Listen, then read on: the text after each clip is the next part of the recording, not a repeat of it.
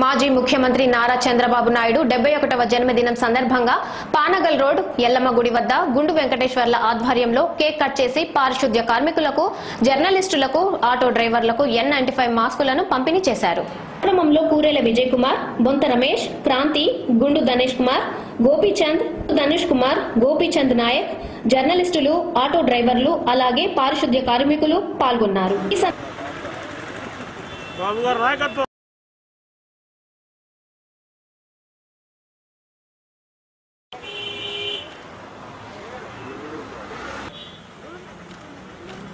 Okay okay okay తీసుకొని జరగం వచ్చేటప్పుడు ఆయన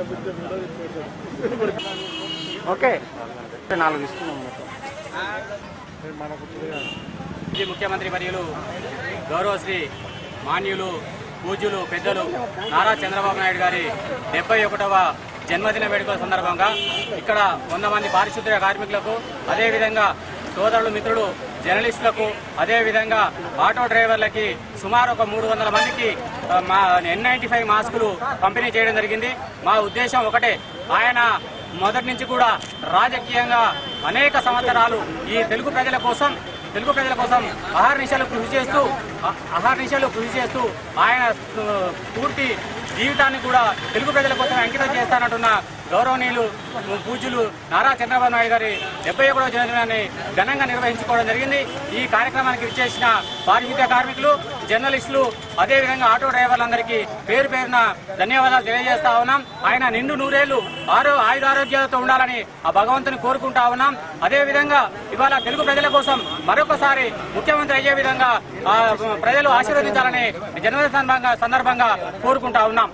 ఆంధ్రప్రదేశ్ మాజీ ముఖ్యమంత్రి నాయుడు డెబ్బై రెండవ జన్మదిన సందర్భంగా ఈరోజు ముందు వెంకటేశ్వర ఆధ్వర్యంలో మాస్కుల పంపిణీ చేయడం జరిగింది.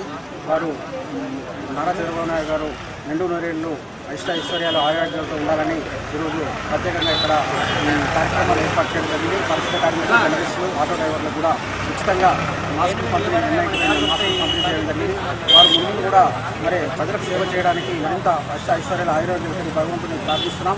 వారు వచ్చినట్టయితేనే ఈ రోజు నేడు యువత కార్మికులు కర్షకులు ఎంతో మరి చాలా ఇబ్బందులకు గురవుతున్నారు.